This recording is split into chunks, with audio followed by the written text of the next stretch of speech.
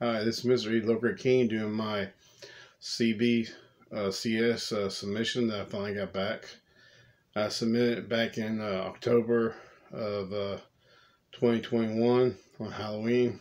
Um, I got received in on December 18th, 2021. I got it back yesterday, October uh, the 20th, 2022. All right, uh, this is seven books. Five are signed. Two are just, you know, blue labeled. Alright. I already opened them because I tried to do a video yesterday. I couldn't get to up upload. So, uh, I'll show you what it came in.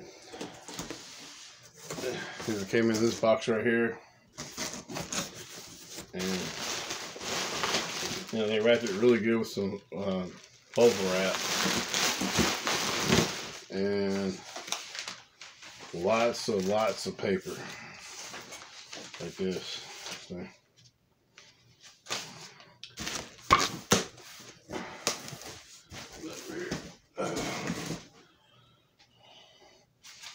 It's pretty good drawing paper, probably. All right. Anyway, so the first one is uh, RoboCop 2, number one. It's a Jim, uh, sorry, Jim Lee cover. You know, I thought it was going to be like a six, six and a half. Came back a seven.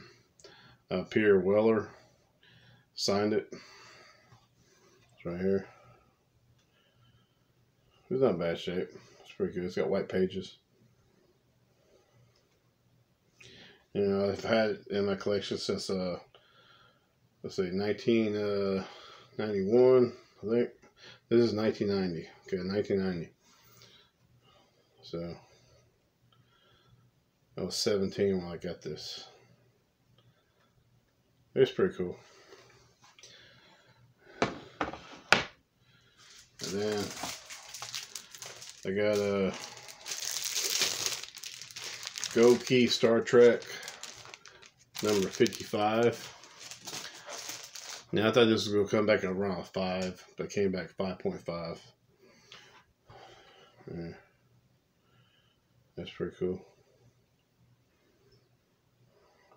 And when I received it in the mail, it got dinged right here in the corner. So I got pressed out.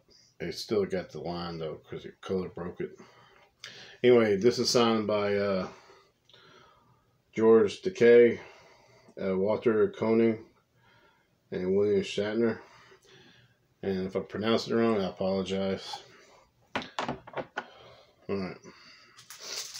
I'm doing this at 2.30 in the morning.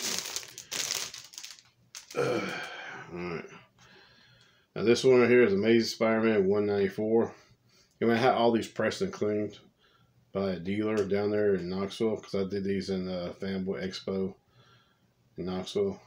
Anyway, uh, some of it didn't, uh, you know, kind of like it didn't retain its uh, press. Like this right here. There's a big wave right here. This, this right here. As you can see it right there. But the cover though was the same way, but it held up. Um, it's you know dirty, got a lot of creases in it. It's got some creases down here, a lot of spine ticks. It had a slight spine roll, but it's gone now because they pressed it pretty good. It was real dirty right here, the white was, but they got most of that out. Does still have some staining though here, some down here, right here. But I mean, it presents good. It's a 4.5. I thought it would be a 4.5. It's the only one I got around in money, basically. But I bought this one and uh, uh, Sensational She-Hulk number one and number 50. Uh, new uh, guys number one and Thor 225. I paid like I think $120 for all of them. So I had a Thor 225 and Amazing Spider-Man 194 pressed and cleaned and uh, sent off. All right, this is uh, Sensational She-Hulk 43. Now this one I thought was going to be around 94, but I really missed the mark on it because there was some. Uh, take out of the bag. I wanted to do that already. Anyway, so yeah, some stuff up here. If you can see it. Little dings. It's got some down here too. Let's see right there. Little dings on that. It just has uh like five or six really small little spine ticks. So I'm assuming little dings around the edges got it. But it was signed by Renee uh I can't even pronounce this. It's uh Wistater, something like that. Wister Stater. Anyway, she's the editor for the book. So you know, it's cool. I like the cover. She's pretty cool.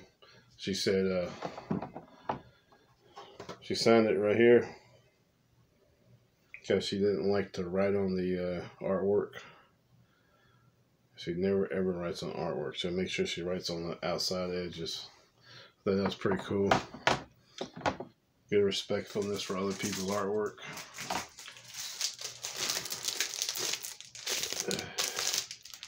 Now this one I thought was going to be a 9.2, 9 at the worst. Came back at 8.5. But it's signed by uh, Edward Furlong and Robert Patrick. Uh, it's a Terminator 2, Judgment Day number 1. Um, anyway, it got me right here because some dirt right here. I can't see. This too much glittering. It's right up here. I don't remember it being there, but like I said, I've had it since I was probably like, since 92, so I was like, uh, no, it's 91. 91. It was published. So, I guess I was like 16, 17. Something like that. Might have been 18 because it says 92 adaptation, but it says 91 direct. So I'm confused about that. So. Huh, that's weird. Anyway, it is. If that thing is the only reason why I got an 8.5 that dirt right there. Alright. Uh, this one is Thor 225. Now, I thought this was going to be a 6. And, you know, after they pressed and cleaned it, it came back at 7.5. That's pretty cool. I think I only paid like 40 bucks for this one. That's like a year ago though. Anyway, they all have white pages except for uh maybe Spider-Man 194 has cream to off-white. And this one has off white to white. Now this one I was off the mark by half point, but it was in the ballpark. Originally I thought it was gonna be a six, but there's like some creasing here and some here. But the press got out the folds, but you can still, it came back slightly. Came back slightly right here on the side. You can see it a little bit right here still. But when they pressed it, it was completely gone. Except for this one right here. That's from uh, printing. Anyway, so this is a Whitman uh, variant, uh, Winnie the Pooh number two. Uh, it's by, uh, see, it's Walt Disney, of course. Okay, it was signed by uh, Jim Cummings and commented. Jim Cummings is the one that did the voice for Winnie the Pooh for the cartoons. He also did Tigger. I'm sure he probably did other things. He also did uh, DuckTales, or not DuckTales. Yeah, I think it was DuckTales.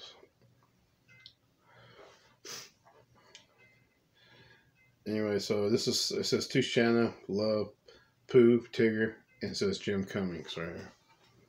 Okay. He wrote Tigger like Tigger would write his own name. I thought it was pretty cool.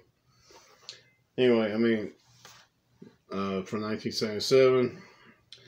It's beat up, but it was a respectable 4.5 considering it was read a lot. and most of the books she had were rolled, tore up. This is the best one she had in there. Most of them were trash. I kept all the ones I could save. But anyway, um, that is it, I guess. Uh, I'm not uh, promoting uh, CBCS at all. I use all the companies. I used, uh, you know, CGC. I've used PGX. I use EGS. I'm only going to, uh, I'm not going to, uh, you know, submit to one, just one. It's going to be based on what what I need done at the time. Like uh, CGC, usually I do it for the signings they have. And CBCS was just because they were at the convention. Um, PGX I'll probably use most because it's cheaper. And I don't break the bank on it. I could get more done cheaper than I can the other two. That's just my own personal thing. I just don't spend a shit ton of money on it. And EGS, I probably use that because I like the uh, top label colors. And some of the co covers I like aren't worth nothing. But I like the idea of having the color match it just for aesthetic. Anyway,